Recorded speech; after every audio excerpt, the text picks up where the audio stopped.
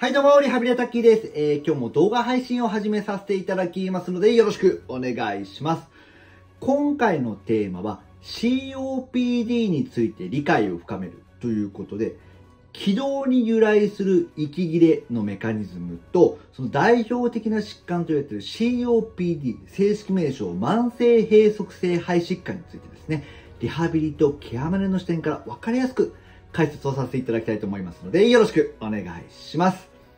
はじめに呼吸器の中でも気道が狭くなると息切れ、呼吸困難を起こします。でこれはなぜかというと、私たちの気道の中というのは粘膜で覆われています。この粘膜が例えば体内に入ってきた、まあ、塵ですとか微生物を異物としてこう捉えて、それを粘液を出してこう捕まえてるということをします。これがいわゆる痰と呼ばれるものです。で、この痰を外へ出す行為のことを咳というふうに言います。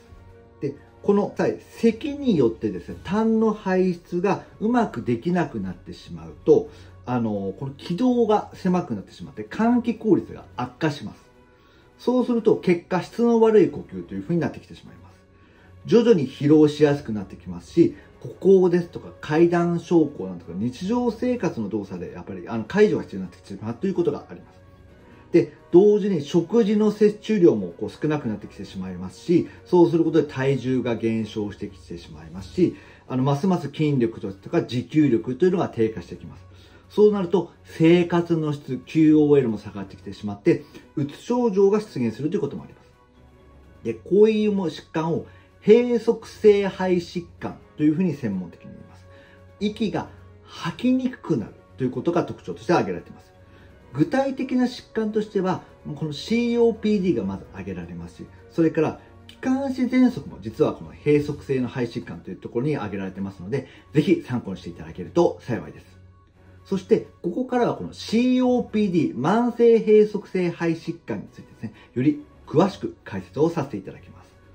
COPD は有害物質とは言っても特に受動喫煙も含めたタバコの煙がやはり一番原因です。により肺の異常な炎症反応によって気道の障害ですとか閉塞が引き起こされている状態のことを言います。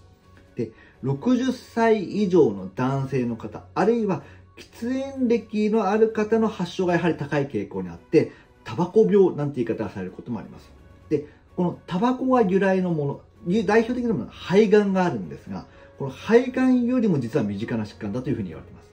で、症状としては体を動かした際の息の吐きにくさ、息切れというものがあります。で、痰を伴う咳というのも実はよく現れてきます。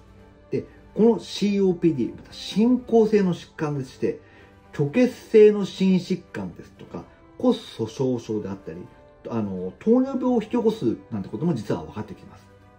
で、この COPD って言っても実はあのいくつか種類がありました。例えば気道の閉塞によって息が吐ききれなくなる。これは肺気腫なんていう呼ばれ方もしますし、この咳や痰がこうずっと続いている。それを慢性気管支炎も実はこの COPD の中に含まれます。で、治療はやはり禁煙がまず第一次、最優先事項となります。で、同時に薬物療法、やはり気管支拡張薬を使うということが多いですし、呼吸リハビリもそこで行っていくということが挙げられています。で、基本的にただこの COPD は予後不良です。なので、早めの発見と対応が必要になってきます。特になんか最近風邪をひきやすくなったな、なんていうふうに感じるようであれば、ぜひ注意をしていただきたいなというふうに思います。で、さらに、新型コロナウイルス感染症によって、この COPD をもともと持っている方は、重症化しやすいということも分かってます。大体2から4倍程度死亡率が上がるなんてことも分かってますので、あの注意が必要ですので、ぜひこの辺りも参考にしていただけると幸いです。今回の配信、ここまでというふうにさせていただきますので、よろしかったらぜひチャンネル登録をよろしくお願いします。最後までご視聴していただきまして、どうもありがとうございました。ではまた